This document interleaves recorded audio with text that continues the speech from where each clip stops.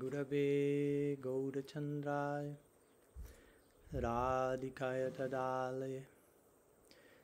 कृष्णाय कृष्णभक्ताय तद्भक्ताय नमो नमः। जय श्री सचिनंदन गौर हरि की जय, श्री गौर नित्यानंद की जय, श्री हरि नाम संकीर्तन की जय, गौर भक्त वृंद की जय।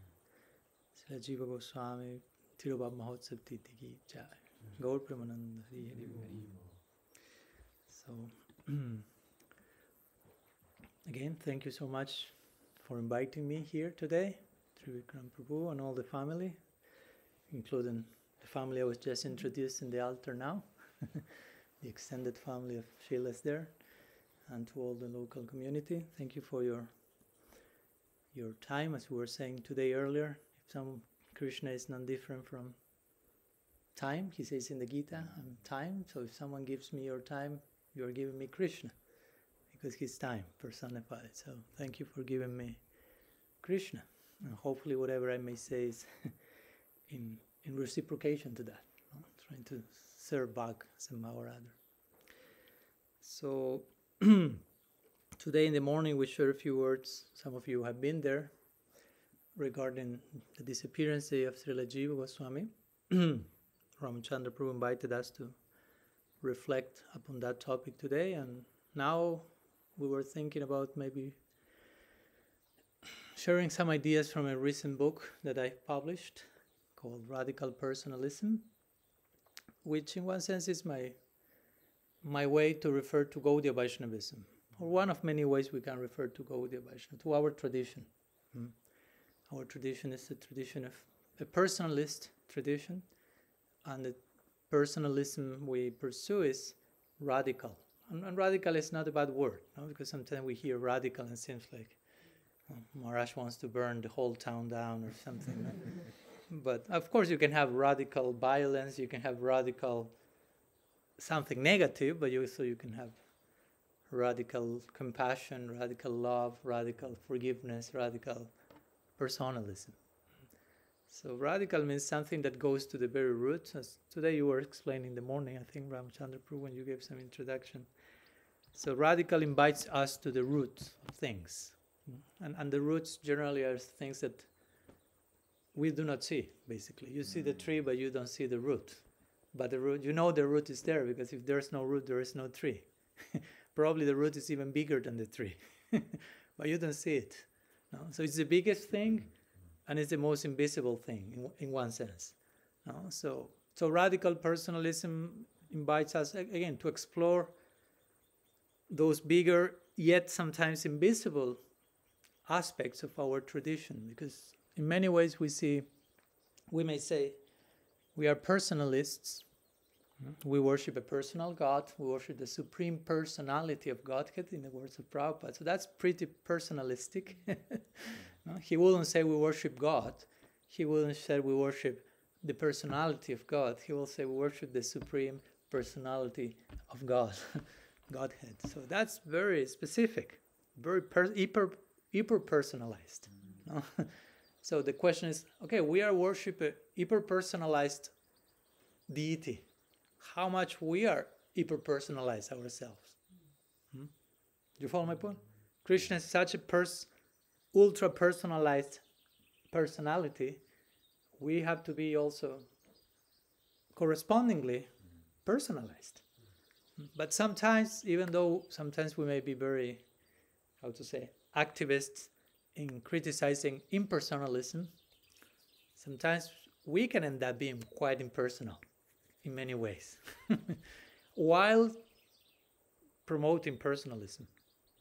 So, also, I think that's an important aspect of not only that we need to work in our tradition, every tradition needs to work. If you say, okay, God is a person, I want to love God, okay, but that has to, that project of loving God as a person also needs to be reflected in how I relate to each other personally, lovingly, because if not, there is a short circuiting there. If I say I love Krishna, the Supreme Personality of Godhead, but I treat all of you as objects, or I relate to all of you in a depersonalized way, Krishna will say, I don't know how much you worship me. you follow? if you say, Krishna, I love you, but then I treat you, all of you, in not very loving way, follow my point, right? And, and with this, I'm not pointing at anyone and not trying to invite anyone to enter a guilt trip. it's just about a, a sincere reflection and introspection about what we can improve individually. No? We can always improve something. It's not about condemning or blaming, but just having some contagious enthusiasm about how can we grow from where I am. I'm already a person, we are all persons, but how much how much more of a person I can become. I'm already an individual. How much more of an individual I can become. How much I can develop my own individuality. As we say today in the morning, Srila Prabhupada will say, I want that my disciples are independently thoughtful people. That requires some refinement. Not to develop our own criterion, our own personality, our own individuality, to offer to Krishna. No? It's not just I will develop my individuality for myself. No? It's not my own offering. It's not that I offer that to myself. I do a self puja or something. I want to develop my sense of personhood to, to offer to Krishna something more relishable. Because he's hyper personalized, he's the supreme personality of Godhead. So he wants to see the supreme personality of ourselves coming up. You follow? If you want to relate with someone who is someone in his supreme personality, that person is waiting for you in your supreme personality to meet him in that level, on that in that depth, in those roots. So that's what what I like to call radical personalism. It's a challenging proposal, but we need challenges. No? If there, is, there are no challenges, we don't grow, basically. Of course, it has to be a challenge that we can somehow grow in and not an impossible challenge because that's totally discouraging. So, in the context of this radical personalism, and in connection to some topics that we shared today in the morning, I thought maybe today to talk about, in connection to God, in connection to Krishna, Bhagavan, Swayam Bhagavan, to, to talk, share a few words which mostly come in a few chapters of my book, especially one that I called um, Divine Ignorance, which has to do a little bit with, uh, well, you will know what it has to do after listening to my lecture, hopefully. Let's see. But in one sense, it has to do with being willing to un- know God instead of thinking that I already know everything about him. Mm. Sometimes we may need to deconstruct some ideas so we can continue knowing the person.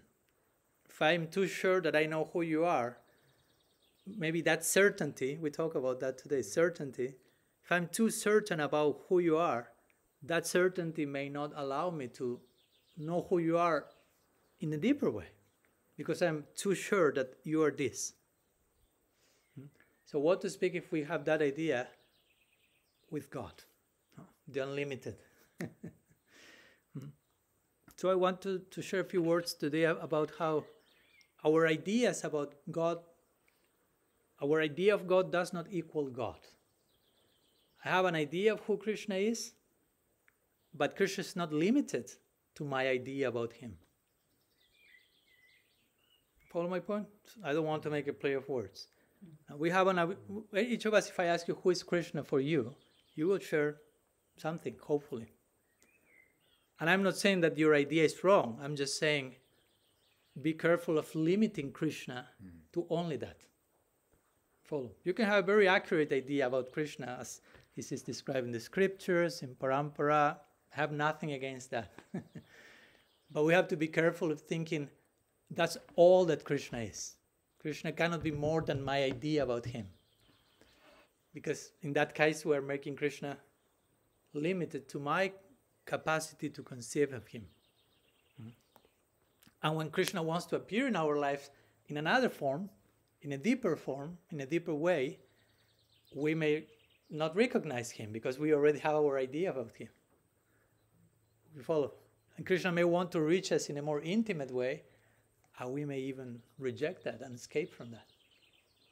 This is the famous example that we find in. That's one of the main lessons of the Brahma Vimohan Lila. Hmm.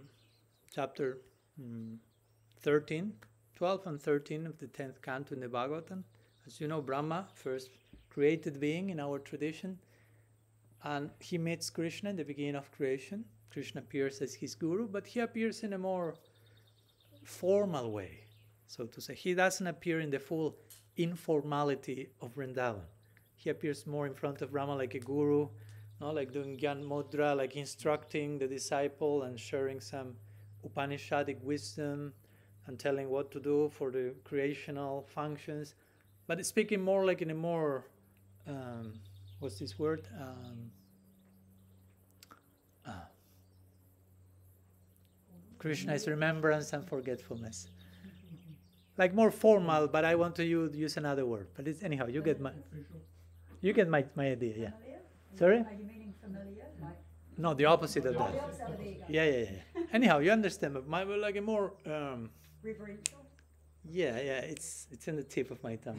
It won't come now, as you know. I will continue speaking. I will come half an hour later. No?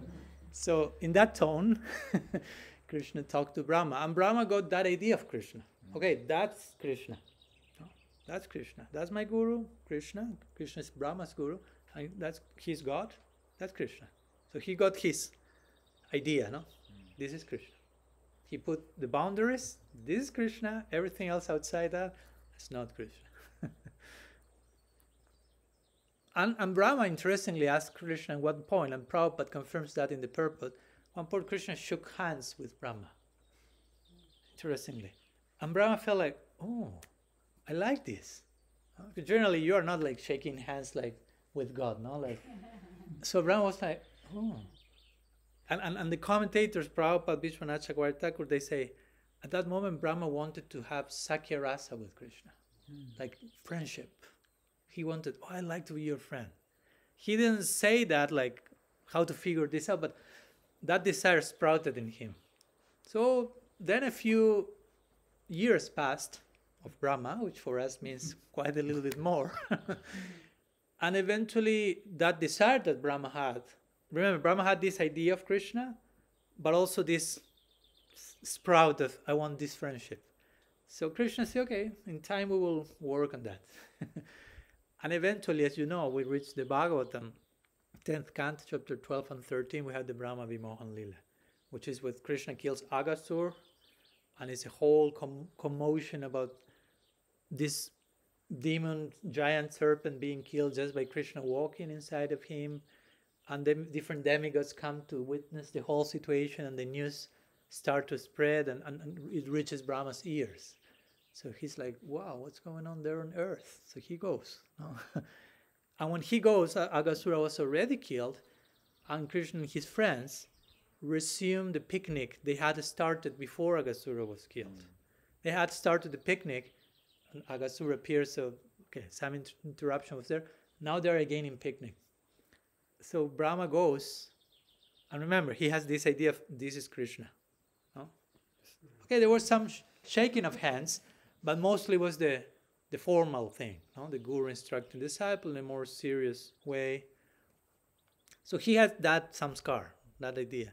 And suddenly he arrives to Vrindavan, and Vrindavan is precisely not the land of formality. Mm. no, their God is at home. No? He doesn't wear shoes, he's barefoot. No? Vrindavan is God at home. No? Like if you go to visit someone, if it's a formal visit, the person won't receive you barefoot.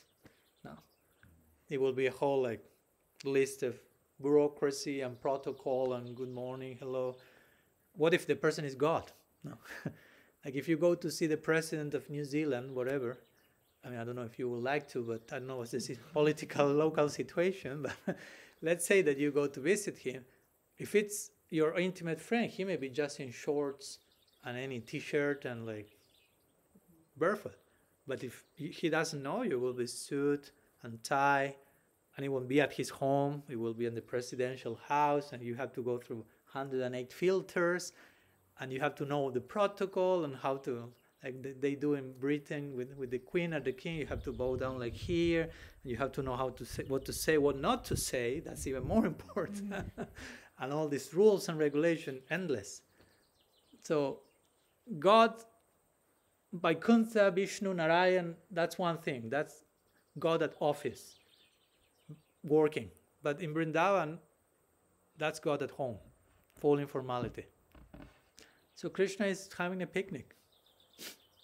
Generally, you don't imagine God in a picnic, but here you have it. So Brahma is coming with his idea of Krishna, this, and suddenly he sees Krishna in a circle, sitting on the floor, barefoot, eating with his hand, with his left hand, mm. breaking all etiquette. all his friends are eating with him, and I mean, one layer of another of Brahma's head exploding basically because he sees, and Brahma, on top of that, one name of Brahma is Vidhi, as you may know in the Bhagavad, and it says if you perform all the Varna ashram duties perfectly, which is basically impossible, almost, because there are so many rules, so many things to do, what not to do, where to look, in which direction. 100 lifetimes of doing it without single mistake, you can be born as Brahma. So that speaks how much Brahma is acquainted with all this world of protocol. So he's coming to Vrindavan, being that person, having this idea of Krishna, and Krishna is shattering that world in pieces. In one sec, he's just sitting and laughing and eating with left hand and tasting from his friends' picnic lunches and putting, and his friends are, are tasting her own thing. I say, wow, this is so good, Krishna, try it. And they put that on Krishna's mouth directly, their own remnants. I mean, you can imagine where, is, where, where Brahma ended up at that point. It was too much. So again, he came with his idea no, of God. And then he came to Vrindavan.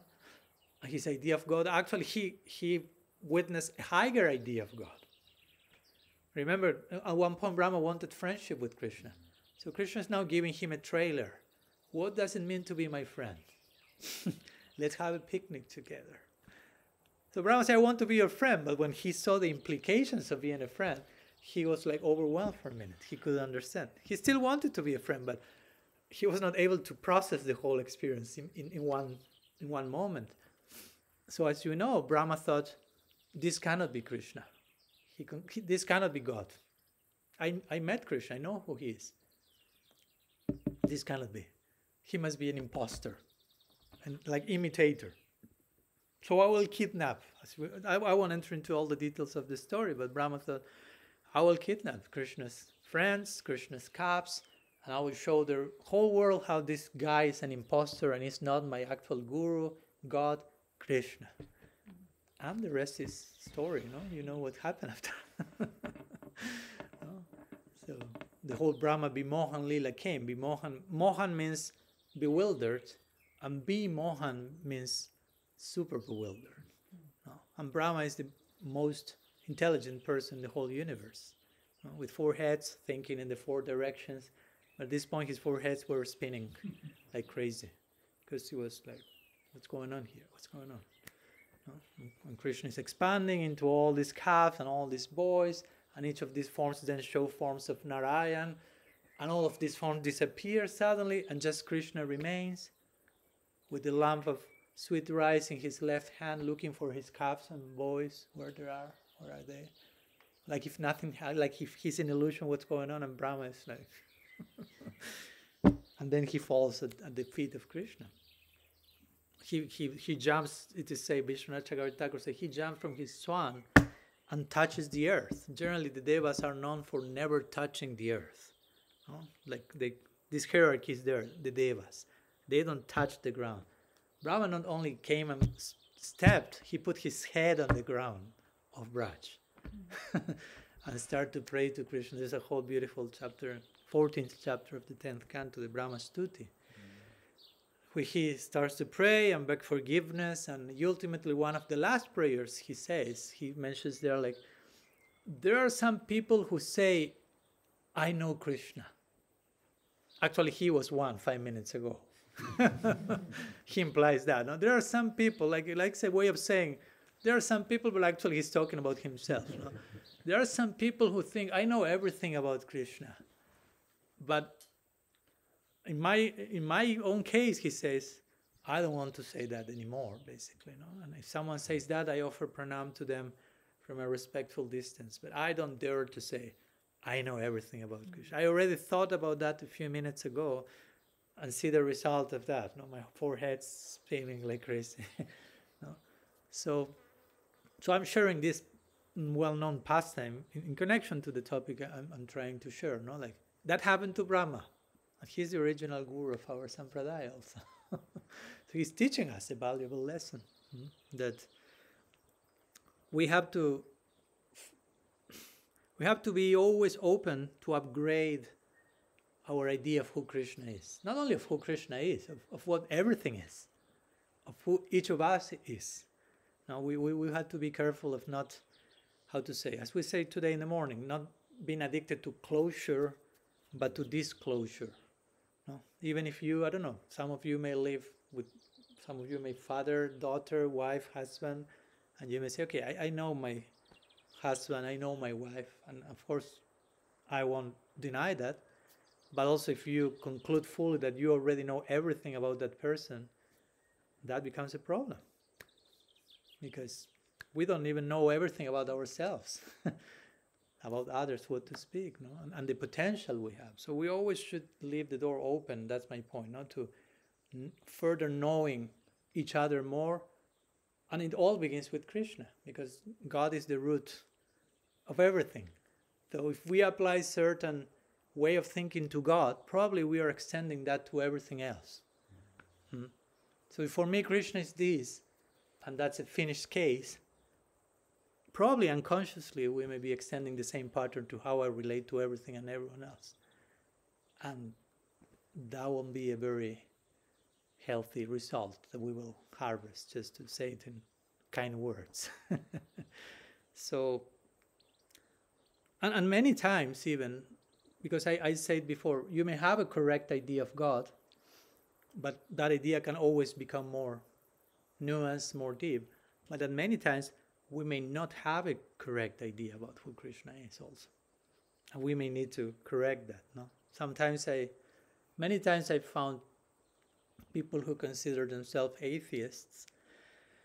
And generally, of course, they will say, I don't believe in God. But actually, what they do not believe in is a certain idea of God. If you start to inc- talk to them properly instead of just wanting to convert them or anything, if you are willing to have a conversation and listen to them, like why? Of course, how can you say that God does not exist to begin with? That makes not too much sense because you cannot prove someone's non-existence. Mm. No, I cannot say. I can just say so far I haven't met that person but I cannot say that person does not exist. So what you are actually saying is certain ideas about God do not make any sense to me and I cannot believe in them. And I will say, I cannot believe in them either. No. now, sometimes I met atheists, people say, I cannot, I don't believe in God. I cannot accept that God is a grumpy daddy figure on the cloud with a thunderbolt in one hand, another thunderbolt in the other hand, or God has four hands, so he may think of four thunderbolts. That's so. and angry and willing to chastise and send you to. I cannot believe in that. And I will say, I completely agree with you. We are on the same page. I cannot agree with that. But still, I'm not an atheist because that's not God, basically. Mm. So, so an atheist can have a wrong idea about God. And the problem, my, my point with this is that some people may have an idea of God that is unacceptable, and therefore they consider themselves atheists. But some other people consider themselves theists, accepting the same idea of God that for other people is unacceptable. You follow my point? That's interesting. Some people say, I cannot accept a chastising figure who easily gets angry God does not exist. Another people is, I believe in God, and He is an angry figure who, who very quickly gets, that's my God. No? So it's interesting, the same idea for some people makes them to become one thing or the other. And of course, in our tradition, we're quick to say, okay, Maharaj, but we worship Krishna. Krishna is the all attractive. No? He's God at home, as you were saying, and he's sweet and he's intimate. Yes, but sometimes we may still carry unconsciously some ideas about him that have nothing to do with that, with who Krishna actually is. And we create our own version of Krishna. Mm. Many times, many times, not all, but sometimes, even to, due to some unresolved childhood issues.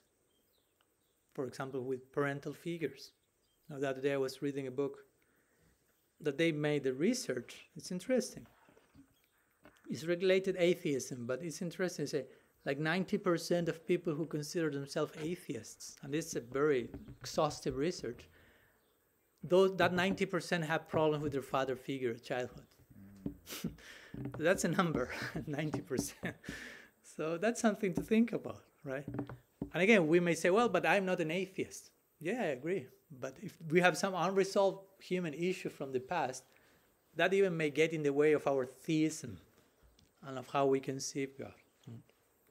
Like, like we were like we were talking, for example, today in the morning. I've met devotees uh, that sometimes, for example, some time ago, I, I was talking with with one devotee, and she she was she was suffering a lot, and she told me, Maharaj, um, I'm I'm very how to say. Yeah, I'm in deep anxiety because I'm not able to finish my 16 rounds. and I, love ma- I know many enter into the neur- neur- neurosis uh, chamber because of this. and I'm afraid that Krishna will, at the end of my life, send me to a, to a non human body because of that. Uh, and I was like, Do you think that Krishna is such an ugly person? Mm-hmm. Because, because she was like, I'm sincerely trying, but I'm having these other engagements. I don't have time. I'm having some, but I want to be a devotee. I want to give myself. And she, and she was crying. I mean, she was not like looking for for this a blessing from the Swami to no, you follow my point, no? No, no, not playing the victim, so I can. Okay, no problem. You can continue, and Krishna. I, I will talk to Krishna. We'll make the making. We'll make a new contract for you. There are always exceptions to the rule. No problem. no, no, no. She was really wanting that, but somehow not being able and suffering like hell for that. Especially this idea, Krishna is angry with me. She, he is not happy with this, and probably I will lose the human form of life. So I was almost in tears myself witnessing that. I said, no, no, no, no, no, that, that's not Krishna. Mm-hmm. No, well, at least that, that's not my Krishna. no. and, and, we try to develop this idea no, on how we can uh, how we can really develop this idea. Okay, that's who Krishna is, and, and engage in practice and engage in life with that idea. Thinking he's angry, he doesn't like me, he may take me to a peak body in the next lifetime. and it's all fear and it's all anxiety and it's all like, I mean, I don't think you you will feel very much attracted to that person in one sense. no, it's, you are more afraid than anything else, and, and, that's not the type of relationship you want to have with Krishna. Fear is, in one sense, the opposite of love. No, so, so it's an example. It may sound like an extreme one, or maybe not, but it's an example of how sometimes we we can project on Krishna an idea about him that doesn't correspond with him. And he's not that, but we became convinced that he's that. And we are convinced, and nobody can change our mind. But that affects all our practice, all our life, all um, our relationship with him, how we see everything else, by just having the wrong idea about who he is. It sounds simple, but it's delicate. So we have to, at least as I said, remain open to the possibility that I may not having the most accurate idea about Krishna. At least open to that possibility. I'm not saying that's a fact, but especially if that idea that you, whatever you idea you may have, is taking you to fear neurosis, feeling threatened, practicing Krishna, practicing Krishna consciousness from a place of, I don't know, pressure, like intimidation, like, again, this idea of if, if I do not get to Golok Vrindavan in this lifetime, I don't know what will happen. No. But again, if you are sincere, and that's your job, no? I mean, it's my job as well to be sincere myself, Krishna will honor that. And, and you shouldn't even thinking about losing the human form of life. Krishna is saying the Gita in so many places. No?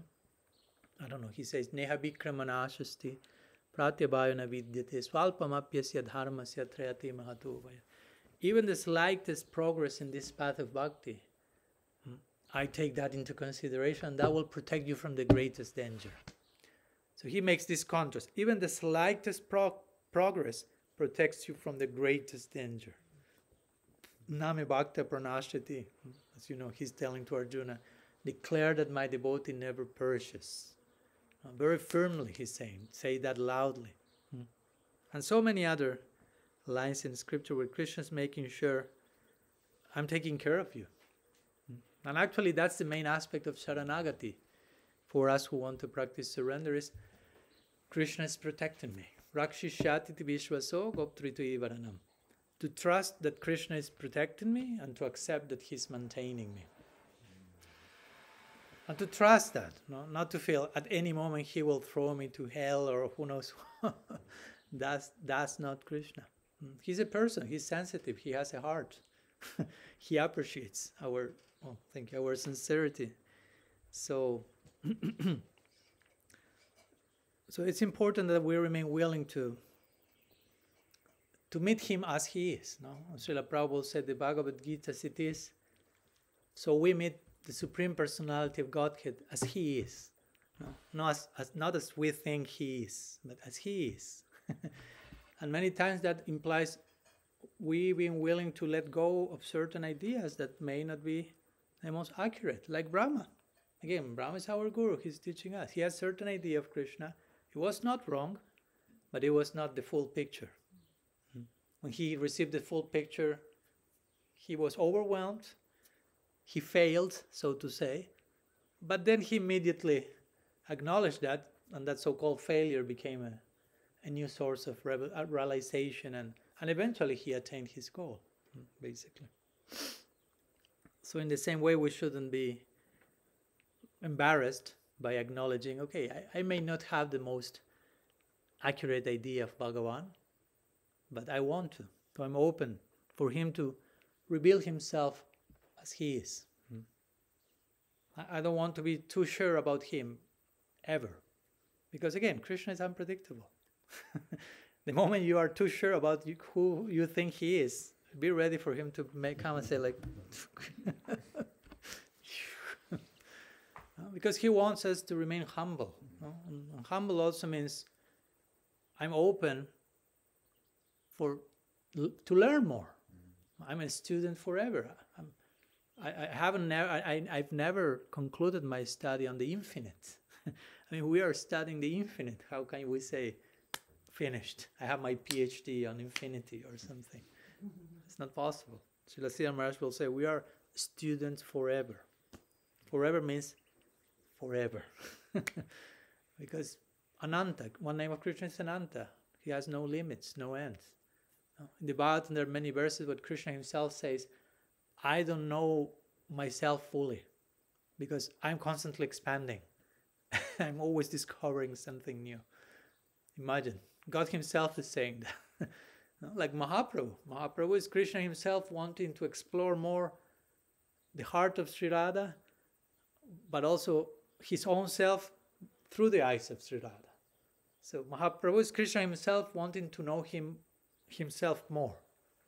God himself is eternally dedicated to that exploration, so to say. He's humble. He has no problem in admitting that.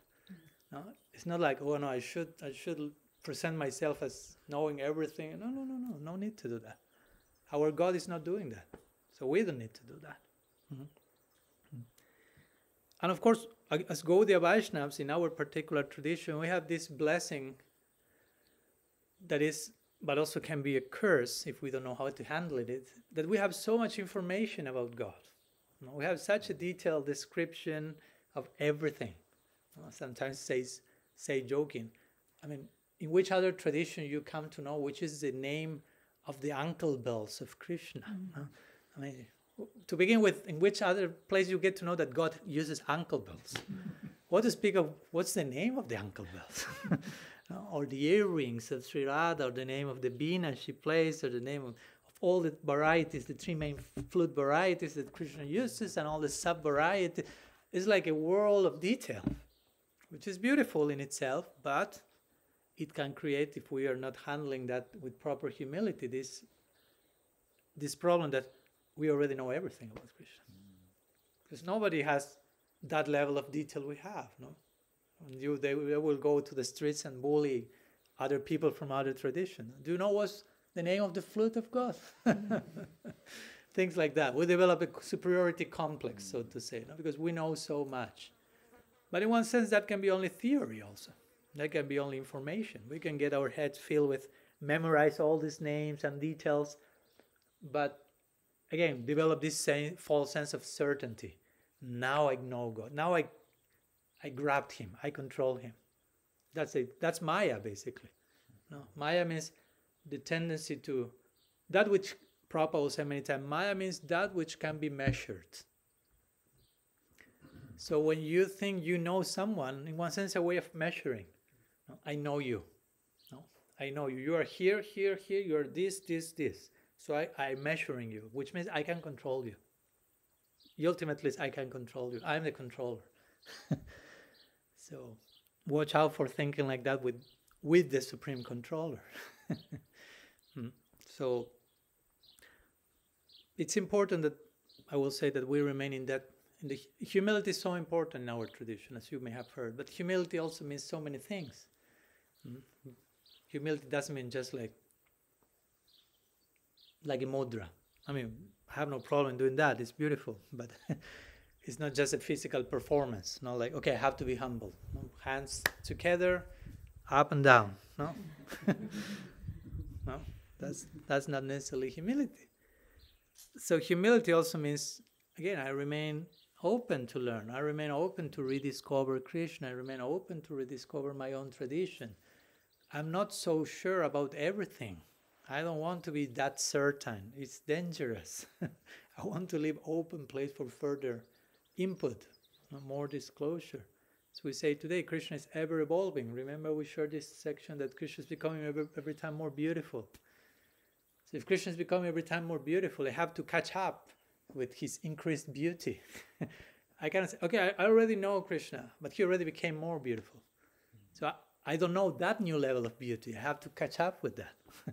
he became more Krishna because Krishna means the all beautiful. The all beautiful becomes more beautiful means Krishna becomes more Krishna.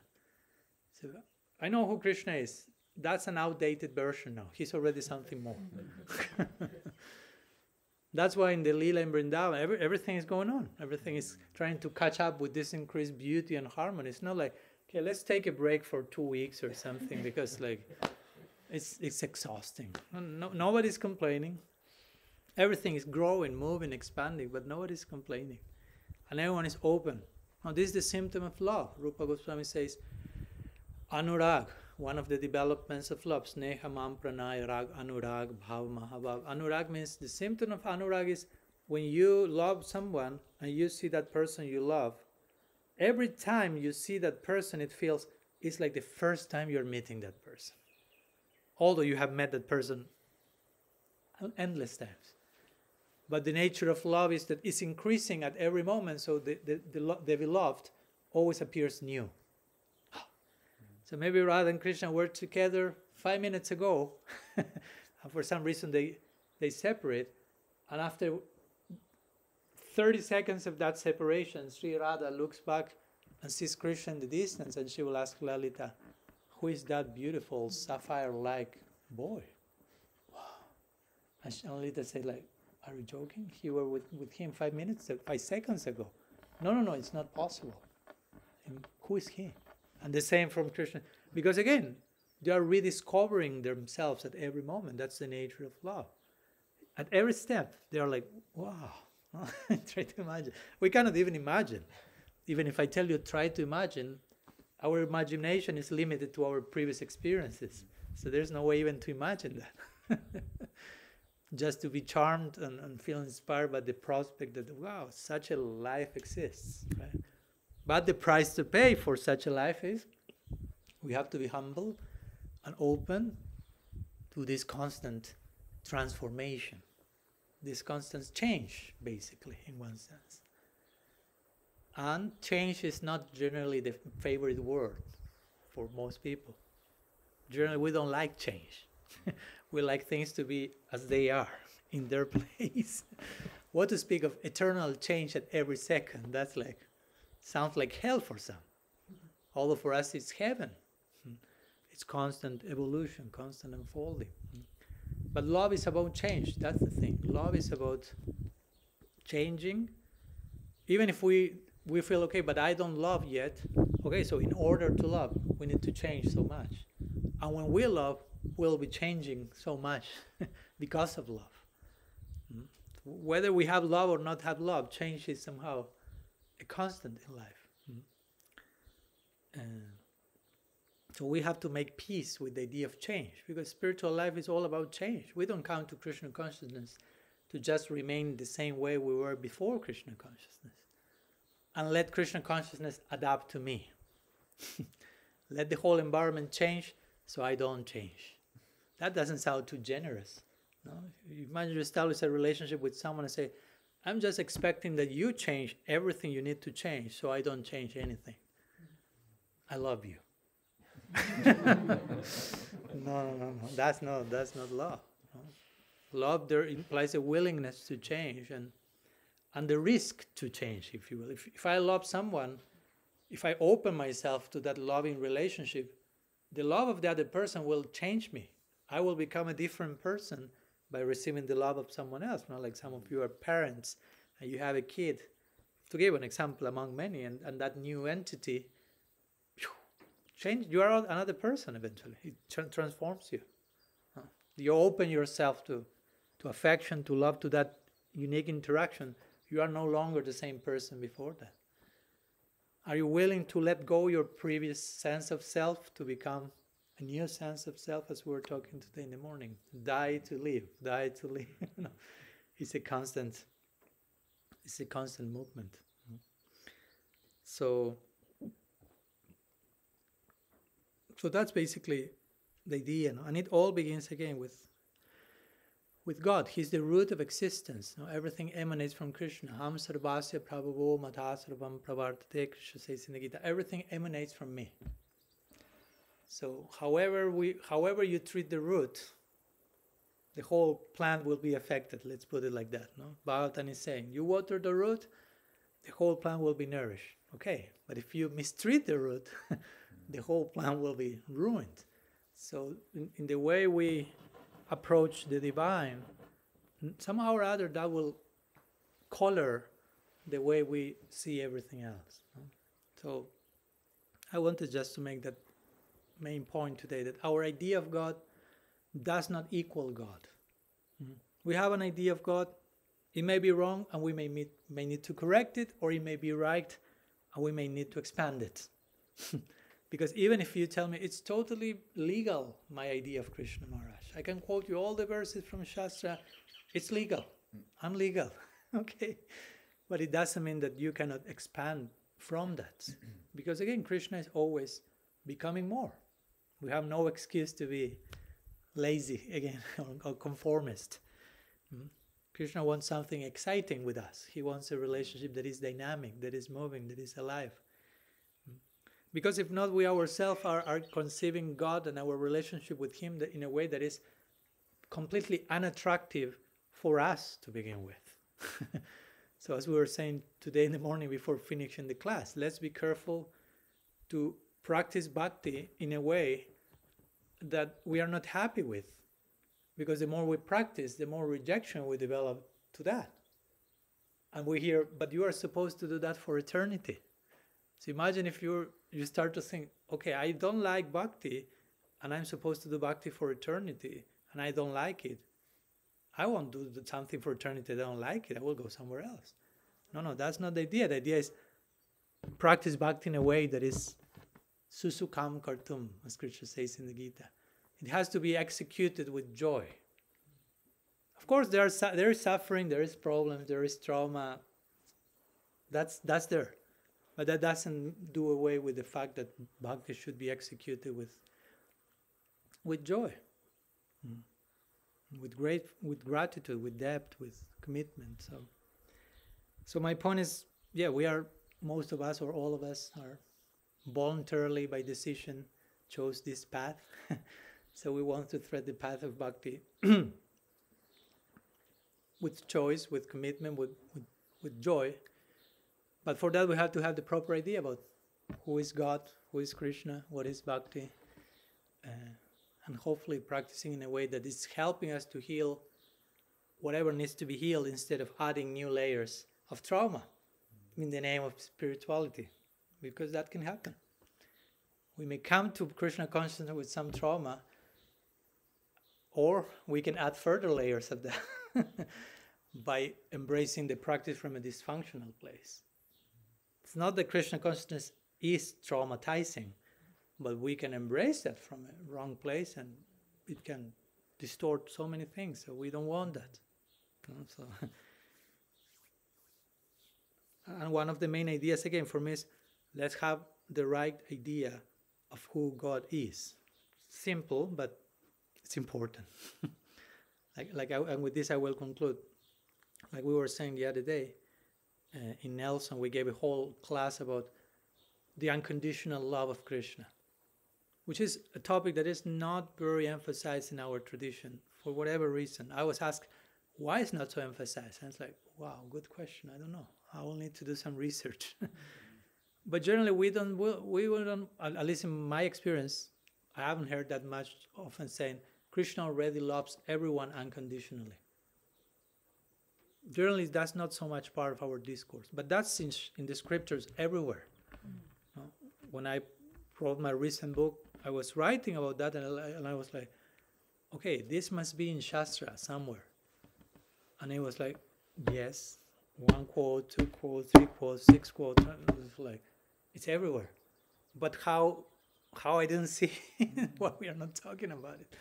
No Krishna says, I'm the friend of everyone. I'm, I'm I love everyone everyone, not only my devotees.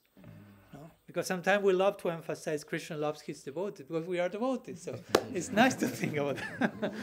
oh, I happen to be his devotee. And, Krishna loves especially his devotees. And I, I happen to be in that elite.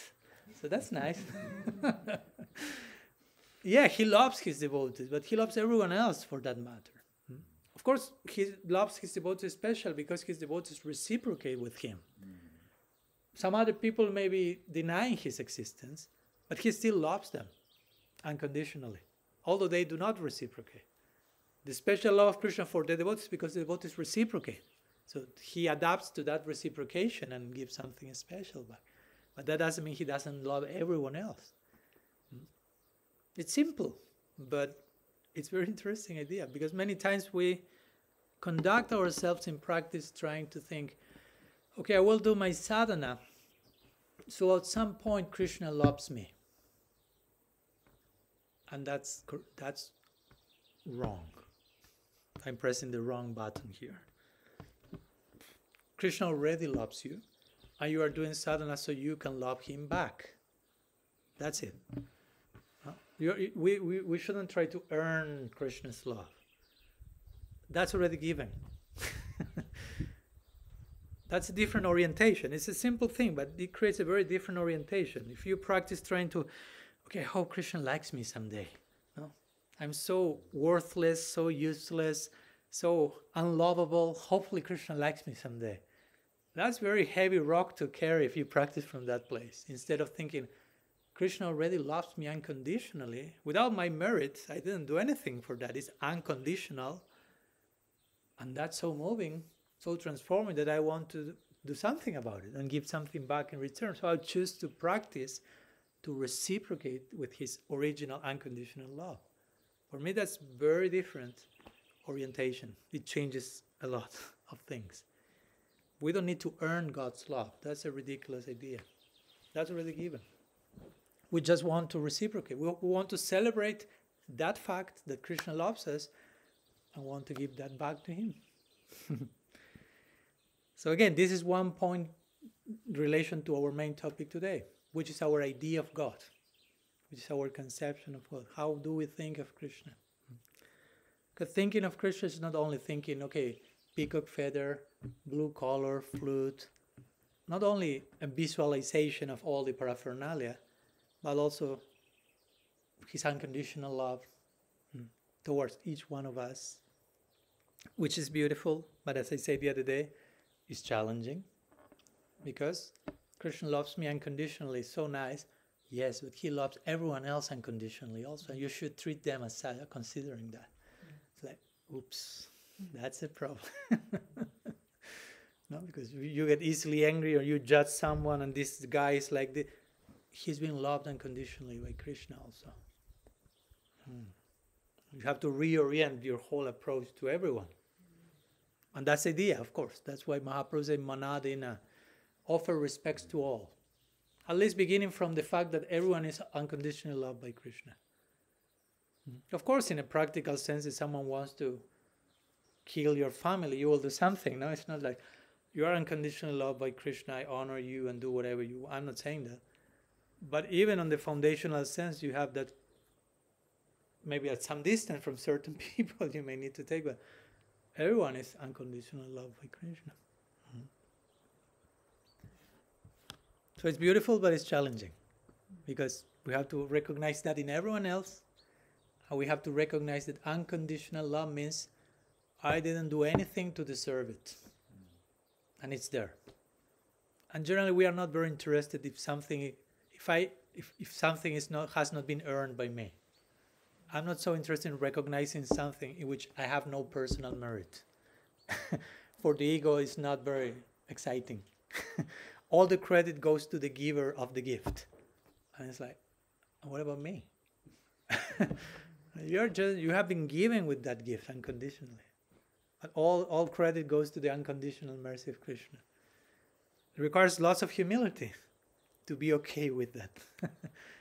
and that's the humility we are expected to develop. No? So, anyhow, a few thoughts in connection to different points in connection to the main topic of. Each of us have an idea of Krishna, and it may be great, correct, accurate, beautiful, but it can always be more correct, more accurate, and more beautiful. So we have always to leave the door open for Him to reveal, to show Himself further to us. Hmm? So so we can welcome new levels of relationship with Krishna. Sometimes I've heard the saying, I've heard I felt Krishna in my life present, but I don't feel Krishna present now, at this stage. And of course, we know it's not that he left you. Again, he's not a cruel guy. Actually, what may be happening many times is that he's getting closer to you but you are too much attached to your idea of Krishna, to your experience of your relationship with Krishna being, I don't know, Krishna is there and I'm here, so that's that's my experience of Krishna. And suddenly Krishna gets closer to you and beca- uh, comes here. But you keep looking there to the usual place where you used to find Krishna and say, Oh, he disappeared, he's no longer. And he's like, I'm closer than ever. But we are too attached to, to a certain version of him. So it's not that he disappeared, he got closer. you follow, follow my point? So we have to be open to, to rediscover his proximity in our lives. Hmm? Because he's, if we are sincere and willing, he's just trying to get closer and closer to us. Of course, his, his style of getting closer may be outside of what we imagine, because we still have our preconceived ideas how Krishna should get closer to me. but that's his prerogative. He knows how to do that. We cannot just, Krishna, please come closer to me, but in this, this, this, this form. Okay? It's like, I'll do it my own way, Krishna will say. No? We, you, we cannot put that, rule. No? Because if not, we will end up even like praying to Krishna, Krishna, please give me mercy. But many times we have already our preconceived idea of how His mercy should look like. so we pray for mercy, but we already imagine the whole sequence and the result of that mercy coming and what will happen. So it's all still under our control. No? Give me mercy, but in this way, which is not mercy, basically. It's just my own idea of mercy. And then Krishna gives real mercy, which is something happening outside of our control, and, but we cannot recognize that as mercy because it's outside of our idea of what mercy was. So, Krishna, give me mercy. He sends mercy, and we suddenly start to pray to Krishna Krishna, please give me mercy because this situation has come. He said, That was my mercy. Mm-hmm. No? That was my reply to your previous prayer. So now you are praying to me to counteract the result of your previous prayer. Doesn't make any sense. Krishna's like, You are strange. right? So we, we have to yeah, align ourselves. If we pray for mercy, we have to open. You do it as, as, as you consider better. And I'm open to accept that. That's another way of saying what we are telling today. Be careful of our idea about Krishna, our idea about Krishna's mercy, our idea about how my relationship with God should develop. Let's let's be always keeping a door open for for his input as well. We may have our input, but it's a two-way street. We are having a conversation with God. So he also has a voice in that. We also have a voice. He also has a voice. We are two individuals with our own free will relating with each other. So there's place for interaction. It's not only as I think, as I like. That would be a, a dictatorship or something like that, right? So, so anyhow, a few thoughts in connection to, to the idea. It's almost five, so I know that some of you may have some duties uh, waiting for you, but also I don't know if we have a few minutes if someone has any questions, although some may have to leave, but also I like to always leave room for for questions in Spanish. I, I, could, do it. um, to extrapolate from that, like sometimes we think we should give all the burden to Guru or to Vaishnavas who can work it out for us. We have our idea of Krishna say, but it's pretty foggy. So the Guru will reveal it to me Mhm. we have this, I suppose, I don't know if it's our tradition or not, but it seems to be that emphasis there. The guru will do it for it, it can do it for us. It can open our eyes to the thought all, all that. What's, what's your take on that? Okay, that's a good point. Yeah, that's another class in unto itself, as usual. But a few words we can share. Of course, we, we don't deny these ideas of Magyanati Mirandasa, Gina Anjana Shalakaya. No? The eyes are open with the salve of knowledge. But my thoughts on that, as you may imagine, are not also that the Guru does all the magic, so to say, and we are just like passive consumers of of the Guru's grace. No, like just Gurudev, give me, reveal everything, show me. I'm just keep, I'm, I just keep waiting, and you show me everything, or you just tell me what to do, and I do. The Guru also wants to see some initiative on our side. No, I mean he wants a a relationship. No, he was ideally, ideally, the Guru should be concerned with with the disciples' individuality also. No, that the disciples start like we say in the morning. Prabhupada would say, "I want my disciples to be independently thoughtful people. I just don't want to tell them what to think. I want to teach them how to think. That's not the same." how to think and you think for yourself not what to think in the beginning of course what to think this is like this like but eventually how to think and you fly with your own wings so in the same way yeah, the guru gives knowledge also you have to do something with that knowledge uh, it's the duty of the disciple to to process that knowledge properly because a guru can be given a lecture with with 100 people but it's not that everyone is understanding the same thing or properly. So it, we have a duty to what do I do with that? No? Or even Gurudev, give me mercy. Mercy comes. What will you do with the mercy now? You have to do something, not keep asking for more mercy.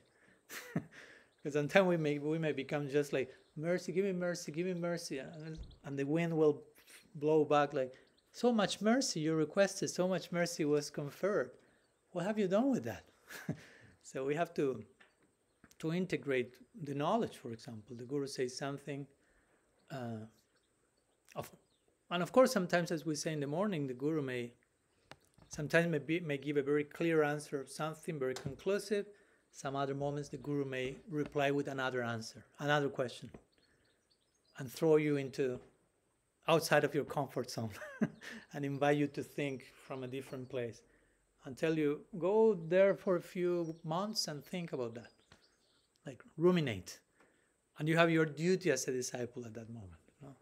You have to think for yourself. Oh, the guru will test the disciple like, like you've seen the bhagavatam many times no? like when sukadev goswami parikshit maharaj many times no? parikshit maharaj asked sukadev goswami can you talk to me about krishna lila and Sukadev Goswami at the end of the ninth canto, because at that point Parikshit Maharaj had lived four days, so he only had three more, and his main is- interest is hearing Krishna Lila, but Sukadev Goswami has not narrated Krishna Lila so far, so he's kind of looking at the mm-hmm. Clock.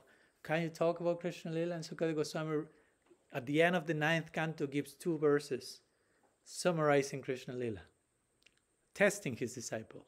Like, there you have Krishna Lila. And Parikshit is like, tell me more, please. Two verses. And then we have the 10th canto. But if Parikshit will say, oh, thank you so much, that's it. Bhagavatam stops there. We don't have the, the 10th canto. So the Guru is testing also the disciple. Sometimes Parikshit, in the, at the end of the fifth canto, description of the hellish planets, and Parikshit Maharaj full of compassion, asking Sukadev how one can be saved from that. And Parikshit and Sukadev Goswami say, by karma he's giving the wrong answer on purpose. And Parikshit say, no, it's not possible. okay, but Gyan. No, no, no, it's not possible. So, no, and he explains what. Okay, by bhakti. Okay. So again, the, the guru sometimes will not necessarily immediately show everything clearly, but hint at things and see, test the disciples, see how the whole thing develops. So yeah, I think we as disciples should be uh, not lazy, because sometimes in the name of glorifying the guru, we can over glorify the guru to not do our part. Oh, Guru, you are so merciful, so incredible that I do not even need to chant japa because your mercy is such that you are giving me all perfection without me needing, needing to do anything. And that's evasiveness. That's not glorification. No? So the guru has a role, of course, but the disciple has a role. It's a teamwork. The two have to do their thing. When you go to all the main verses in Shastra that describe the, the qualities of the guru, tadvidi pranipatena tashman gurum prapadyata tadvigyanartam sagurum anyhow, all of them. Interestingly, first, those verses describe the qualities of the disciple. Then go to the qualities of the guru. Like implying, it's not enough if you have a guru, a super qualified guru. If you are not a disciple yourself, it doesn't make too much difference. you can have the topmost Uttam Mahabhagavat Paramahamsa Nitya Siddha Acharya of the planet Earth. if you are not there as a disciple yourself, you may not be able to take advantage from that. Mm. So instead of asking, Where's my guru? Where's my guru? you should ask, Where I am as a disciple. I'm in the proper place because, as we say today, the guru may be here, but you are not there as a disciple. I'm not seeing guru, I'm not seeing guru.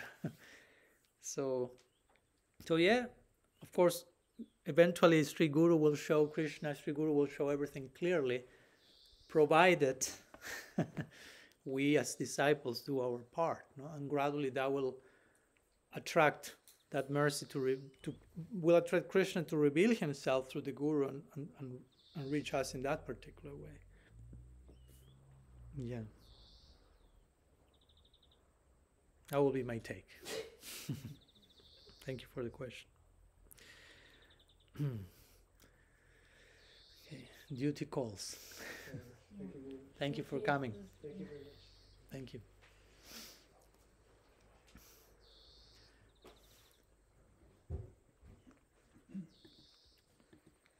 Something else? Yeah. Just looking within my own heart, it seems that it's a very um, that that that um, I'm just trying to get my brain working. Um, that that that tendency to to uh, put Krishna in a box in a particular way in terms of um, him not accepting us unconditionally. thinking I'm not a great, I'm not, a, I'm not, a, I'm not a devotee actually Mm-hmm. because I can't uphold this standard or that standard or so many things. And then, and further on, we might say, and it's you know, all these references in the in the fifth canto seem to you know tend to convey a certain type of message about you know obedience and and you know stringent adherence to the process and so many things. So the, the psychology is Mm. and we can kind of and you see it very much with fundamentalist style religions they really do try and latch on to those in the box definitions of what god Mm-hmm. who god is as the all powerful and you know where you all end up if you if you don't totally comply with Mhm. his Mhm. expectations where's the where's that psychology rooted is it an atheistic psychology that we're trying to like you know what does that afford us to put Krishna in that box is it we're a control end up being the controller somehow or what is it that we're actually Hmm. it's not being humble it's it's something else but it seems like we're just self you know self denigrating ourselves by saying I'm not a devotee and we may feel like that but there Hmm. must be a psychology that under, underscores it all I'm just wondering what that Hmm. opinion is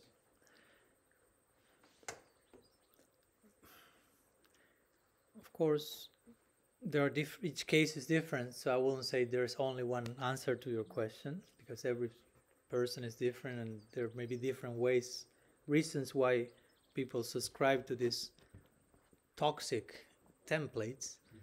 But sometimes one of them, and many of them happen unconsciously, but one of them is just by by me entering into that space where I self denigrate myself to ex- to the extreme uh, unconsciously again, I don't have to take any responsibility because I'm I'm useless, I'm worthless, and I'm not saying that to condemn that person. no.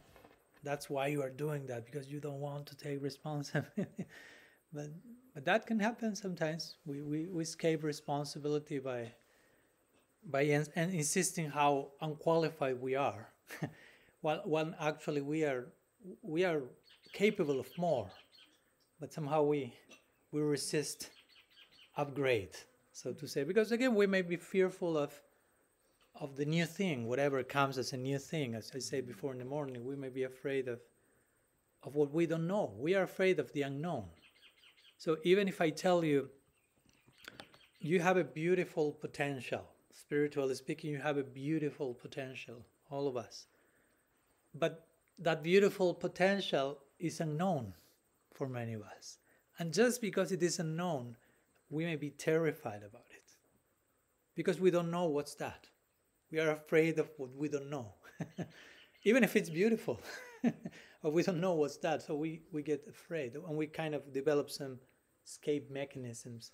Sometimes maybe entering to that place where I identify myself as incapable. And of course, in many cases, it's because unfortunately some people may have received that narrative from childhood, even. No? I mean, they, they, were, they got convinced that they were worthless. So they are like, yeah, I'm worthless. I have no value. And, and, and, and, somehow the unresolved trauma just brings them to repeat, to go to places where the same thing is kind of reconfirmed, so to say, in one way or another. no? It's like an addiction. no? It's like unhealthy, it's killing you, but you cannot stop doing that. No? So, and I, and I think that's very important. That's why I repeat, I insist on this point of Krishna already loves you, because if you don't have that clear, I mean, that Krishna loves you means that you are lovable. Lovable? Lovable? So if Krishna loves you means you are lovable. on that foundation you can dare to love others. Because if you are really convinced that you are not lovable, probably you, you won't be courageous enough to try to love anyone. you follow my point? If you think I'm not lovable, nobody loves me, probably when, when the possibility of, of, of love comes, you're terrified. Or you feel I'm worthless, I, I'm not up for that. But if you start with the foundation Krishna already loves you, therefore there is something if you in you that is worthy of God's love. Again, it's not my own merit, something I deserve, but we are made, let's put it like that, on something of something ontologically that God loves. I, I have to I, I, I, even have to learn to love that thing in me that God loves. this is the famous quote by Saint John of the Cross in Christianity. He say, "Love what God sees in you." That's intense. That's challenging. That's not so easy. And that's not like a superficial self-love. Like I love me and I'm so incredible and unique. I'm not saying that. I'm saying there's something in you that Krishna loves, and you have to learn to love that thing. Because if you want to love Krishna, what's the symptom of love? Love means if I love you, I also love the things you love. Whatever you love, I love that also, apart from you. So if I love Krishna, hmm, okay, I will love whatever Krishna loves. Oh, he loves me. I have to learn to love me because that's something that Krishna loves. Not to love me separate from Krishna, to love me in the context of Krishna loving me. That's humbling. That's not self centeredness or narcissism. You follow my point? I, I have to develop that type of self love. There is something in me that Krishna loves.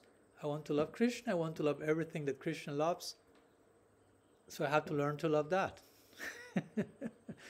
so, so, so I think that's a very important point to free us from these mechanisms of self hatred or lack of self confidence, of I'm not lovable, and create a new paradigm, so to say. Yeah. Yeah, so further on with that, so find out something that Krishna loves. Well, we may not what, know what Krishna loves in us, so therefore it's hard for us to know what we're referring to to love. When we say Krishna loves me, we don't really know who me is, so we're sort of in this vague zone of, you know, he loves something about me, but I don't know what it is, so I don't know what to love. So therefore we're sort of in this neither. I wouldn't say he loves something about you. He loves you, hmm. no? Who you are. Of course, we may not yet have full realization of who, what the Atma is, hmm. but I think even on a theoretical level, it's a very, how to say, healthy beginning point. Like, okay, you don't have a clue who you are, but whatever you are, Krishna loves that. now, start with that, and in time you you will get to know who you are, and therefore you get you will get to know what Krishna loves no? in you, which is you. It's not that Krishna loves in you something, and something else in you he hates. No, regard what you are as an atma, because everything else is not you. What you are, Krishna loves that. So I think that will give, uh, how to say, enough impetus to try to discover that. no, that's mm-hmm. something that Krishna loves. What's that? Let's discover that. Not just as a, as a private, separate project. I will discover my soul. I will discover what Krishna loves, which happens to be me. so I look, I'm discovering me, but not separate from Krishna's love. So, so that's the ideal combination, so to say. Yeah.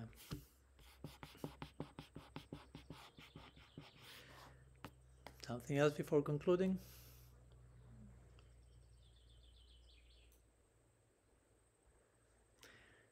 Okay, I think we can conclude here, and maybe we can do some, if you want, kirtan. If you have some minutes, you're invited to join us. Yeah, yeah, yeah. yeah. Shri Sachinanand गौर हरि की जय, श्री श्री गौर निताय की जय, श्री हरि नाम संकीर्तन की जय, साधु संग की जय। गौर प्रेमानंद हरि वो, पंचकल्पतरुभ्यश्च, कृपा सिन्धुभ्यैव च पतितानं पवनेभ्यो, वैष्णवेभ्यो। वैष्णव वृंद की जय। गौर प्रेमानंद हरि।